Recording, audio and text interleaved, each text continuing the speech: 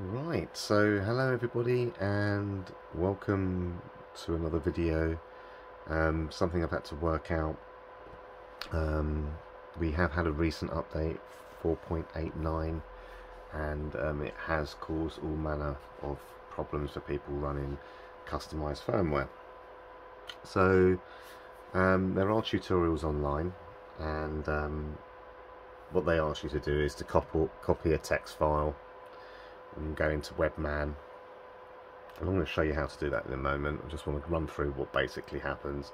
So you copy the text file, you go into Webman, um, and then you copy over the text file in Webman, literally under HDD0 and right at the bottom. Um, but the problem is, when you do that, um, after you've pressed triangle and right to, by the way, to disable, um, a lot of people are getting invalid password. So I signed into PSN on my mobile and the password is valid. so it doesn't work, or does it? Um, so a lot of messing around and I found that you actually need to generate or manage device setup passwords and use this password that it generates for you to sign in to your PSN. Now some people it's working without doing this. Um, it didn't work for me and there's a lot of people online that it hasn't worked for.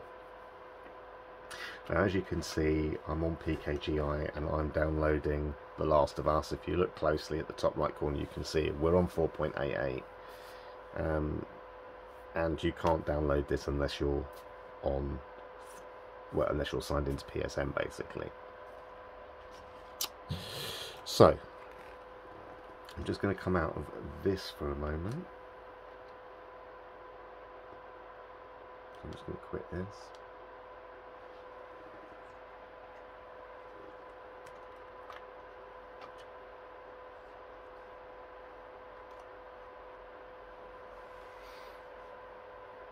And if we go over to, you can see that I'm actually logged in. It's asking for account management and all the other bits that you get once you're actually signed in. So basically what we do is we put in, we take our USB stick and there's a text file which I will put a link to um, in the description. Oh, I can't do any of that currently until I do a reboot, so let's just do that because custom firmware is disabled this is this is you have to disable custom firmware to be signed in. So let's do a hard reboot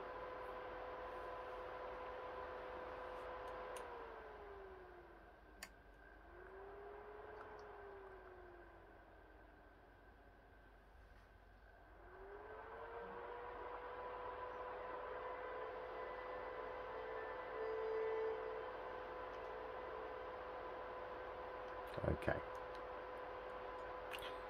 So currently it's asking us to sign in and we can't. PlayStation Network disabled. Um, that's because I have signed in previously. What you might get is what I got before, which is invalid password when signing in. So basically, the steps are you go into multi-man, you put on your FAT32 drive the text file.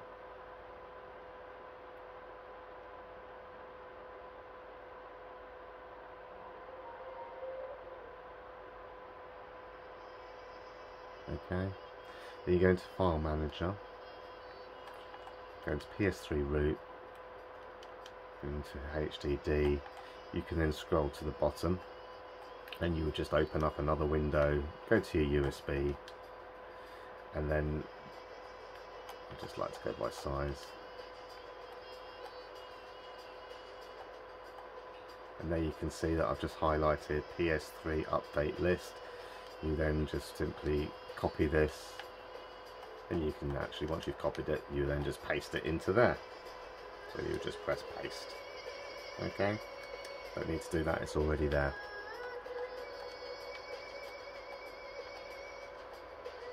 then get yourself back to the XMB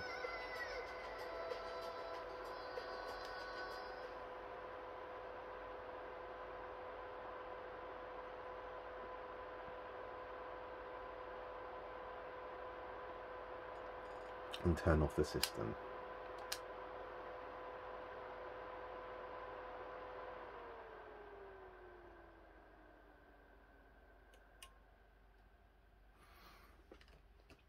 Turn your system back on.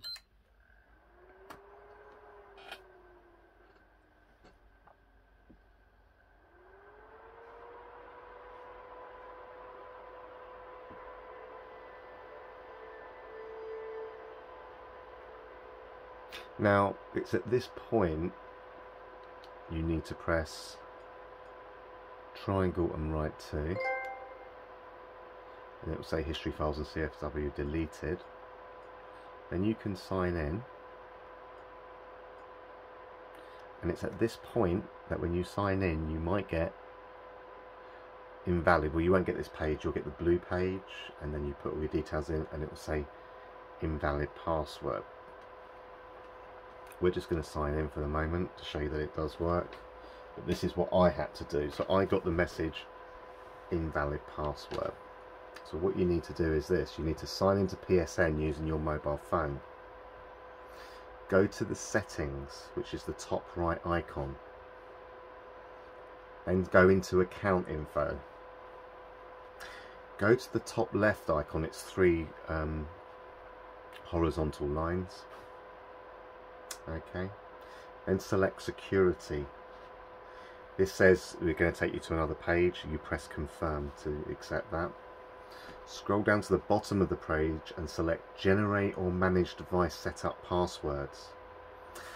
And when you press on that it will then give you a password that you will then need to set up to put into this. And so you don't put in your normal password you put the one that it's generated. Once you've put the one that it's generated in make sure you tick that it auto saves it. Because if you don't tick that you're going to have to do that every time. Once you've auto saved it you can then use that password to sign in. Once you're signed in or once it's accepted it you will then need to press the triangle and right 2 combination to then sign into your into your into your account like you've just seen me do. Once you've done that um, we had somebody on PSX Place who was wanting to download The Last of Us. So I'm just going to show you that that works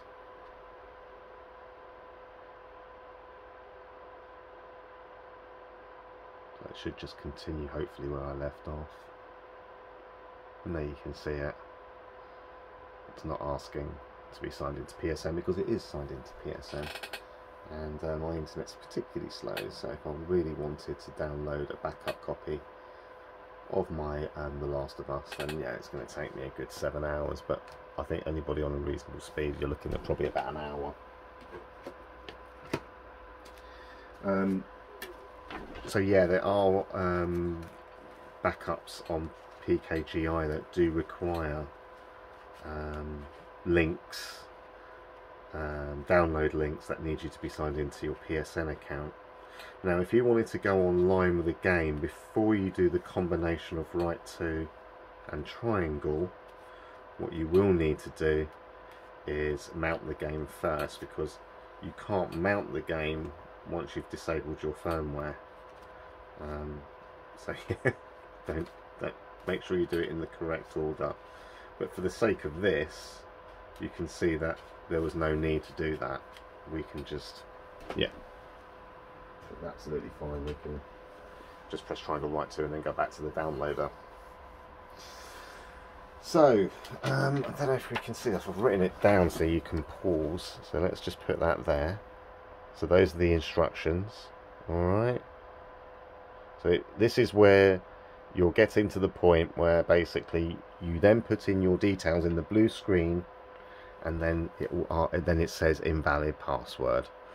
You need to follow these steps. Let's just show you one more time. So you just need to pause the video at this point so you can read the steps that I've explained.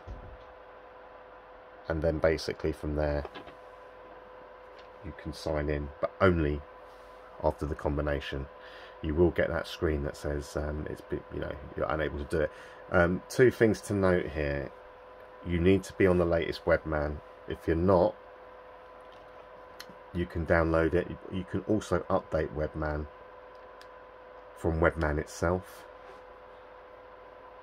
Let me just show you that. So I did notice when it updated that the menu system was a little different. So for example, when I go into Webman Games, it only has these that are actually that I have. Whereas before it had folders with zero in it. Now it only shows the shows the folders if there's something in there. Um, Webman setup, and then we've got PS3 Webman setup.